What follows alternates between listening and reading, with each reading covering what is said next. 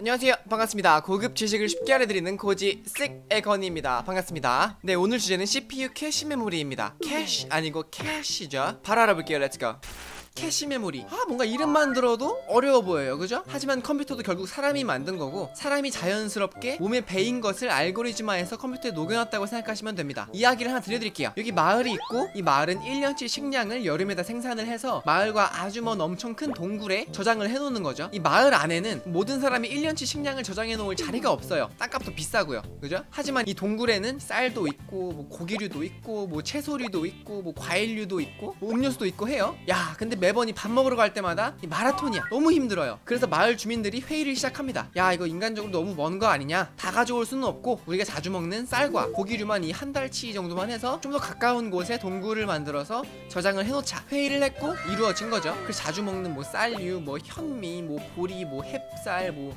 경기미, 뭐 햇반, 뭐 이런 밥 종류하고 뭐 돼지고기, 소고기, 닭고기, 양고기들을 더 가까운 조그만 동굴을 파서 저장을 해놨던 거죠. 그러다가 이제 마을 족장이 한 번 그 크게 열이 받는 사건이 발생을 해요. 야, 니들 요즘 내가 그 햇반하고 닭고기 조합에 꽂힌 거 모르냐? 이거 내 매일 먹어야 되는데 왜 안 주냐? 그래서 사람들이 야, 니들 들었지? 햇반과 닭고기만 마을 안에 그 비싼 땅에 조그만 창고를 지어서 보관하기로 합니다. 그래서 이 창고에는 제일 중요한 이 족장놈이 제일 자주 찾을 것 같은 햇반과 닭고기만 마을 안에 이 비싼 창고에 저장을 해놓는 거죠.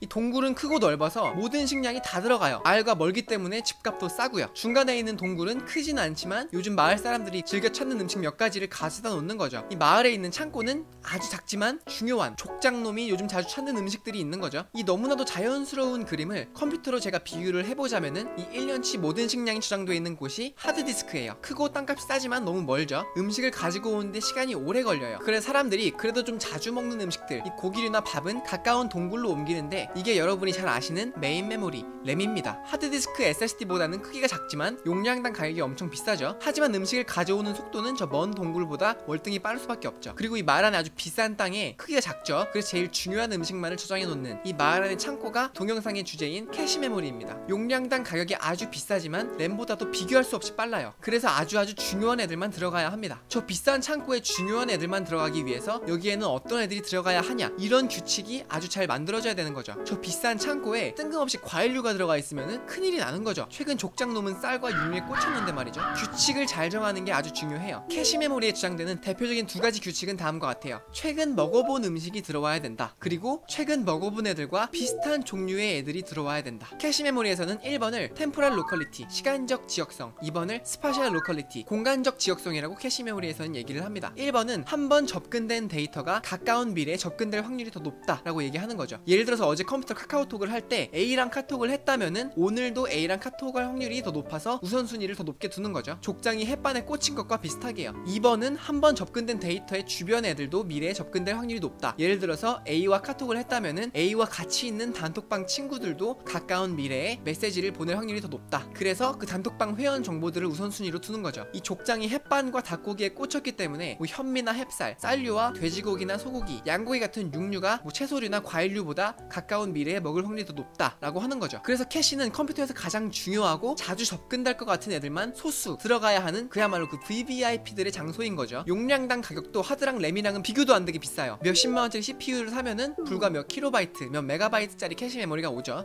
제가 얘기해드린 거랑 비슷하게 캐시와 관련된 생각은 너무나도 자연스럽죠. 컴퓨터가 만들어지기 전에도 이미 사람들이 몸으로 하고 있었던 거예요. 그래서 사실 컴퓨터 안에서도 캐시라는 개념을 CPU뿐만 이 아니라 아주 많은 곳에서 사용을 하고 있어요. 이 그림에서만 봐도 하드디스크도 하드디스크 내부적으로 사용하는 캐시가 있고요. SSD도 SSD 내부적으로 중요한 데이터를 캐시하여 사용을 하죠. 램도 램 자체로서 이 저장 공간 계층에서 디스크에서 중요한 파일만 임시로 보관하는 큰 개념의 캐시 역할을 하고 있다고 볼 수 있죠. 그리고 뭐 파일 시스템에서도 캐시, 뭐 OS에서도 캐시, 뭐 구글 크롬, 인터넷 브라우저에서도 캐시, 뭐 FM 2018년에서도 캐시, 심지어는 그 VVIP만 들어간다는 CPU 캐시 안에서도 세 단계로 캐시를 나누어서 first level cache, second level cache, third level cache를 나누어 놓은 거죠. 이렇게 해서 여러분은 지금 이 순간에도 수많은 캐시 데이터를 생성하고 있습니다. 컴퓨터는 여러분의 모든 행동을 성능, 편의를 위해서 다 추적을 하고 있어요. 그리고 그 추적은 꽤나 정확해서 대부분 예측에 성공을 하고 있죠. 그 작디 작은 CPU 캐시에서 당신의 다음이 무슨 행동을 할지 맞출 확률이 60%에서 99% 정도 돼요. 대단하죠? 제가 몇 테라바이트짜리 하드를 사도 불과 그몇 킬로바이트 몇 메가바이트로 제가 무엇을 할지 다 예측을 하고 캐시에 보관을 하고 있는 거예요. 심지어 게임을 하는 중에는 캐시 적중 성공 확률이 90% 밑으로 안 내려가는 경우도 발생을 해요. 이 정리를 해보면은 캐시 메모리는 컴퓨터에서 가장 중요하고 빨리 접근돼야 되는 데이터들만 시간적, 공간적 지역성을 고려하여 저장해놓는 아주 작고 비싼 저장 공간이라고 생각하시면 되겠습니다. 네 그럼 여기까지 고지 쓱 시리즈는 여러분이 평소에 컴퓨터와 관련된 어떠한 점이라도 궁금한 게 있다면 댓글로 물어봐 주시면은 제 공부를 해서 쉽게 재밌게 얘기해드리는 그런 시리즈니까 언제든지 컴퓨터와 관련돼서 궁금한 게 있다면 댓글로 남겨주시면 제가 보고 다음 영상에서 다룰 수 있도록 하겠습니다. 고지 쓱 일시청해서 감사합니다. 다음 시간에 뵐게요. 건이었습니다